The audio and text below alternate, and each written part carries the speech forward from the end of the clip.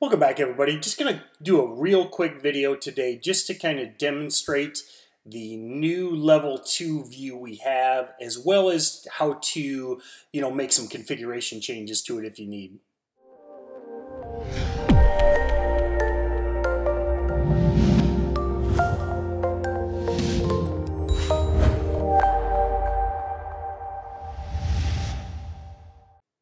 So as of today, we have a new expanded level 2 box. Uh, it, we now have a cumulative level 2. This is actually something that's been requested by a lot of uh, a lot of users, and I actually really like this. Um, I don't necessarily look to quote unquote micromanage level 2. I just want to know where the bidders are, uh, you know, where the sellers are, how much size, and, and the price. I'm not looking to target you know specific market makers etc so you've got your normal level 2 depth below and then you've got your time and sale indicator with with your size in the middle.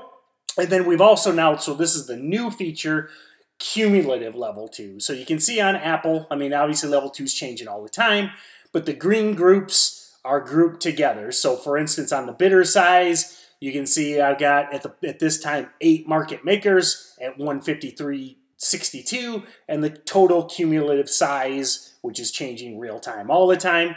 So it's nice because I can just see the top three bigger bidders as well as the lowest sellers and how many market makers are sitting there and then the total cumulative size without having to set here, you know, especially like a stock with Apple that has, you know, uh, seven, eight, ten plus market makers you've got to kind of do the math. You've got to track who's coming in and out. So if you do want to look, you know, say with an OTC stock and see which particular market maker is moving around on the bid or ask, that's fine. You can leave this on. I, on NASDAQ stocks and more liquid stocks, I just want to know the cumulative size on the bid and ask. Now, if you don't want to use it yet, or maybe don't like it, you can change it. And actually, let me zoom in.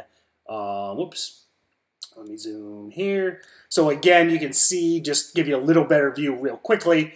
Again, eight market makers on the bid side at 153.63, their total size, and then on the ask side as well, same thing. So instead of looking at and adding up all the size, the size is added up for you so you know each, uh, you know, how big the bid and the ask is. Then, again, if you're not ready to use it or maybe you don't like it, you can just go to your gear. Let me zoom. Go to your gear in the upper right, level two, and then you can see you can hide the book entry bar, which is the bar right here that's showing the size change and bid ask size change.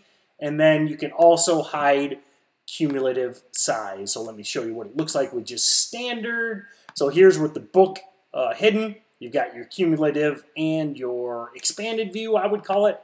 Then you can go to gear, level 2, hide cumulative size, and then you're back to, I guess, what maybe you could call a more traditional full book view of the bid and ask. So uh, we're always looking to grow and change. Try it out. Check it out. Again, I really like the cumulative size, especially on more liquid, liquid active NASDAQ stocks. So thanks a lot, guys, and we'll see you next time.